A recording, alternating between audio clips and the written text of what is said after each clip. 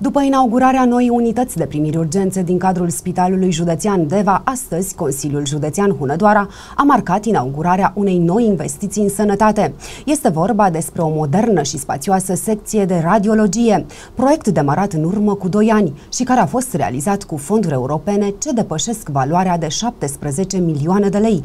Clădirea noii secții de radiologie a fost construită de la zero, într-o zonă abandonată din curtea spitalului și care, de-a lungul timpului, ajunsese un fel de depozit de gunoi. Astăzi, ca urmare a dotărilor cu aparatură ultra-performantă, Spitalul Județean are una dintre cele mai moderne secții de radiologie. La inaugurarea noii secții de radiologie din cadrul Spitalului Județean de Urgență Deva au participat reprezentanții administrației județene, consilieri județeni, deputați, secretari de stat, ministrul Natalia Intotero, reprezentanții aia de revest, medici, personal medical și invitați. Secția a primit binecuvântarea episcopului Devei și Hunedoarei, preasfințitul părinte Nestor. Prin ungerea cu un de lemn sfințit și prin stropire cu apă sfințită, în numele Tatălui și al Fiului și al Sfântului Duh. Amin. Mântuiește, Doamne, poporul Tău și binecuvintează moștenirea Ta.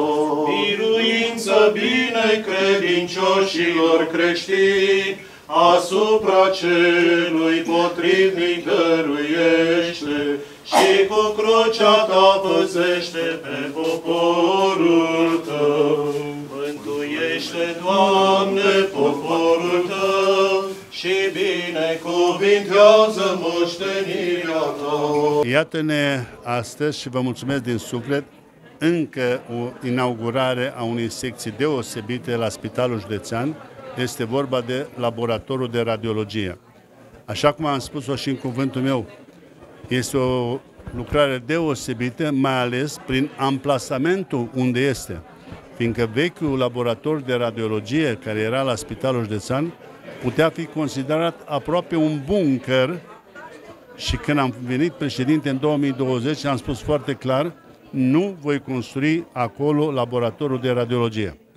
Am căutat, am umblat singur prin tot spitalul, pe aici să găsesc locul potrivit și iată că astăzi nici celor care au lucrat și lucrează de 30-40 de ani în acest spital, nu le vine să creadă ce este acum aici.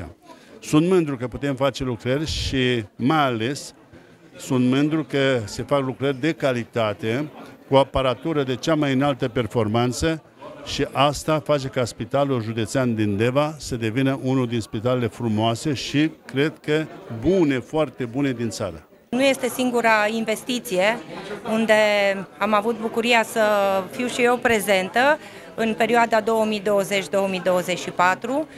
Desigur, dintotdeauna am considerat că investiția în sănătate și în educație cele două domenii principale, din punctul meu de vedere, pilonii fundamentali pentru dezvoltarea oricărei societăți sunt foarte importante.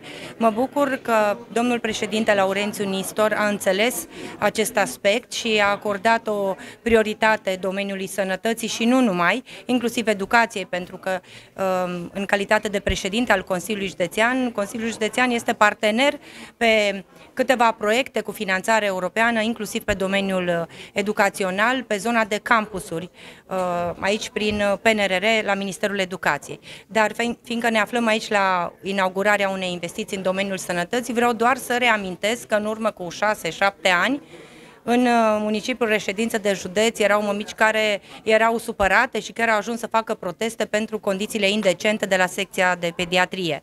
De câțiva ani, secția de pediatrie arată ca în, uh, în afara țării, ca la nivel uh, european și vreau să vă spun că am întâlnit aici mămici care vin de la alte spitale din uh, municipiile din județul Hunedoara, pentru că aici sunt condiții extraordinare pentru copii și pentru mămici în egală măsură. De asemenea, este foarte important, pe lângă creșterea salariilor de care beneficiază cadrele medicale, să aibă și confort, să aibă și infrastructură. Și din acest punct de vedere, Consiliul Județean și-a făcut și își face datoria cu cinste. Le doresc uh, multă sănătate și succes pe mai departe. Sunt convinsă că va fi.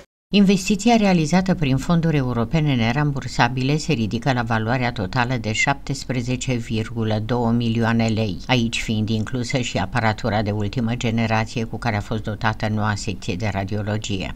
În tot acest spațiu există aparatură medicală de înaltă performanță nouă, respectiv un uh, CT, un computer tomograf uh, de înaltă performanță, cel mai uh, mare, sau mă rog, cu cea mai mare